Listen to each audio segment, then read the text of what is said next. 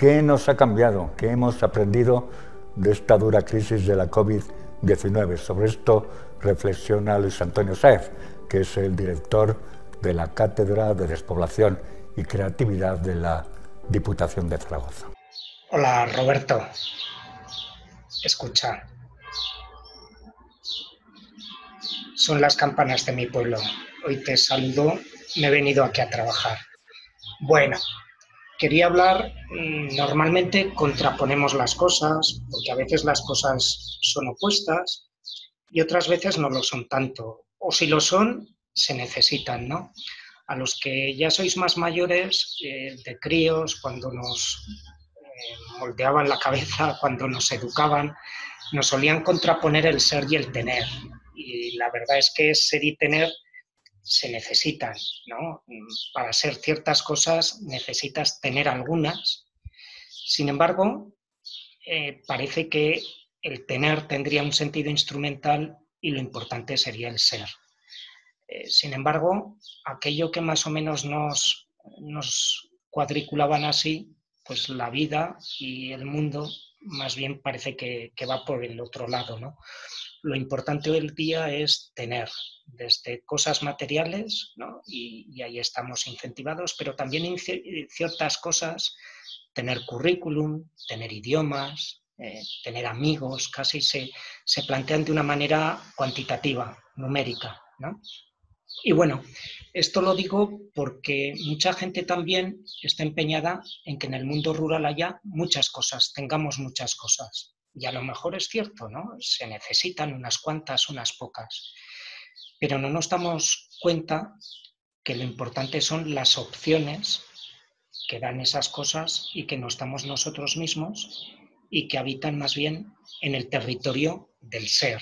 O sea, es, es más importante que tú seas sano que que tengas un desfibrilador o, un centro de salud. Es más importante que seas sabio, como eran a lo mejor aquellas personas mayores que eran reflexivas, a que tú tengas detrás unas instalaciones muy, muy bonitas, muy chulas, pero que a lo mejor apenas las usas para pensar, para sentir, para participar, para tocar al otro, para discutir.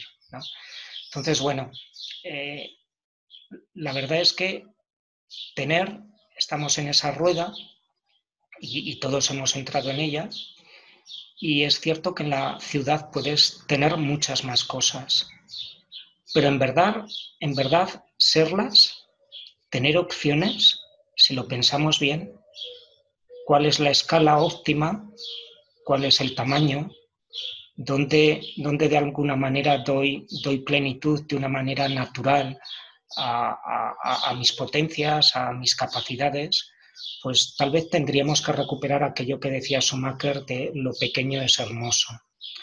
Yo creo que la ventaja de los pueblos no es porque sean diferentes del, mundo urbano, sino porque todavía tienen una especie de escala humana, de tamaño, de atmósfera que te deja que las opciones del ser, teniendo muy poquito, las puedas multiplicar. En cambio, eh, el tener hoy en día ha chupado, ha dividido las esencias.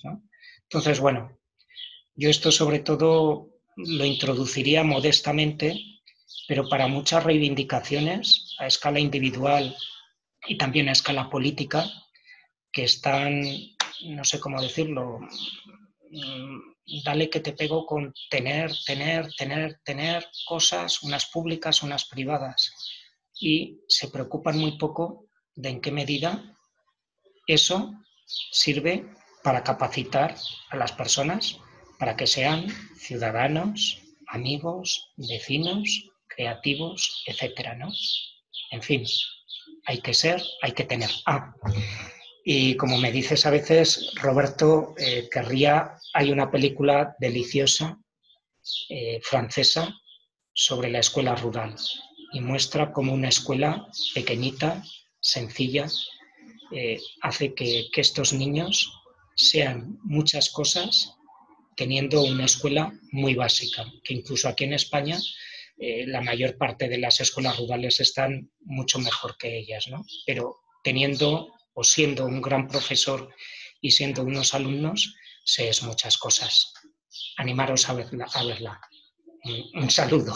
Venga, hasta luego.